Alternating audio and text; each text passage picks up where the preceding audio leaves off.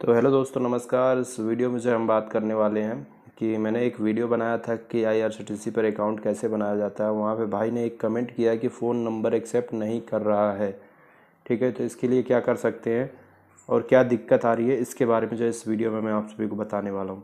ठीक तो IRCTC का अकाउंट बनाते समय जो है आप सभी को ये वाला फॉर्म भरना पड़ता है।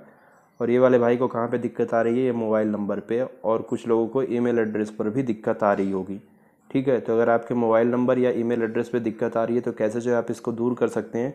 इस वीडियो में जो है मैं आप सभी को इसी के बारे में जो है थोड़ी सी जानकारी देने वाला हूँ। वीडियो अच्छी लगे तभी जो है इस वीडियो को लाइक करिएगा। ना अच्छी लगे तो डिसलाइक कर दीजिएगा। कुछ भी कहना हो आईआरसीटीसी के ऊपर तो इस वीडियो के कमेंट बॉक्स में लिख दीजिए। मैं उस पर अलग से वीडियो बना दूँगा। ठीक? स्टार्ट करते हैं इस वीडियो को। तो चलिए जो है फटाक से एक मोबाइल नंबर यहाँ पे भर देता हूँ, एक ईमेल एड्रेस यहाँ पे भर देता हूँ। ठीक? तो दोस्तों, यहाँ पे जो है मैंने एक मोबाइल नंबर यहाँ पे भर दिया है और एक ईमेल एड्रेस यहाँ पे भर दिया है।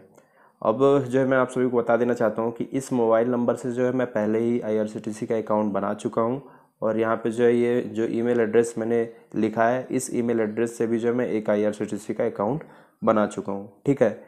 तो ये देखिए, यहाँ पे रेड कलर का जो है मोबाइल नंबर और ईमेल एड्रेस आ जा रहा है। अगर आपके में भी आ रहा है ऐसा तो क्यों आ रहा है, इसके बारे में जो है मैं आप सभी को समझाता हूँ। ये जो रेड कलर की बटन है, इस पर जो है हम क्लिक करते हैं यहाँ पास। यहाँ पे लिख के आ रहा है mobile number is already registered और जब हम यहाँ पे क्लिक करेंगे, ये वाली रेड वाली बटन पे ईमेल एड्रेस वाली पे तो ईमेल एड्रेस पे भी सेम चीज़ आ रही है कि ईमेल इज़ ऑलरेडी रजिस्टर्ड तो ऐसा क्यों आ रहा है? तो भाई लोग, मैं आप सभी को समझाता हूँ कि ये जो मोबाइल नंबर या ये जो ईमेल एड्रेस मैंने डाला है, इससे पहले ही इस ईमेल एड्रेस से और इस मोबाइल नंबर से पहले ही जो है एक अकाउंट बन चुका है। इसलिए जो है ये ऐसा दिखा दे रहा है, ठीक?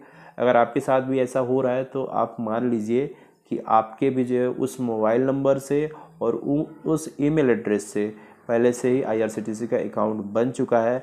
आप दूसरा मोबाइल नंबर, नया मोबाइल नंबर है तो आप नया वाला मोबाइल नंबर भर दीजिए और नया ईमेल ईमेल एड्रेस भर दीजिए, ठीक है?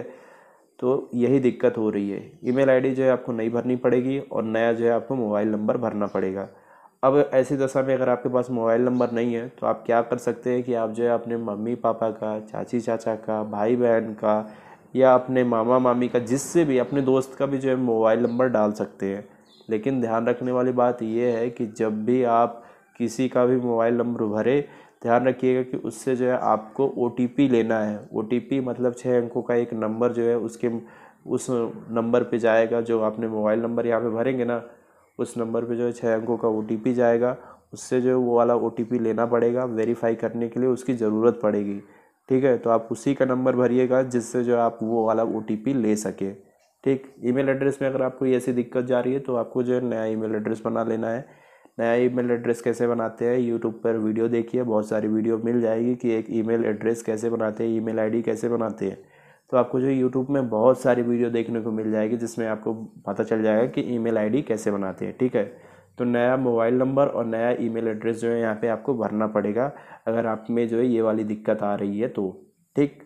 और बाकी लोगों को जो है ऐसी दिक्कत नहीं आ रही होगी, ठीक है? तो अगर आपके साथ ऐसी हो, ऐसा हो रहा है तो आप जो है ये करके इस दिक्कत को दूर कर सकते हैं। तो भाई लोग, इस वीडियो में केवल इतना ही था। उम्मीद करता हूँ वीडियो अच्छी लगी होगी।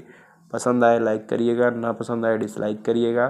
कुछ भी कहना हो तो कमेंट कर दीजिएगा। चैनल अच्छा लगे तो सब्सक्राइब कर लीजिएगा। शुक्रिया दोस्तों, धन्यवाद, जय हिंद।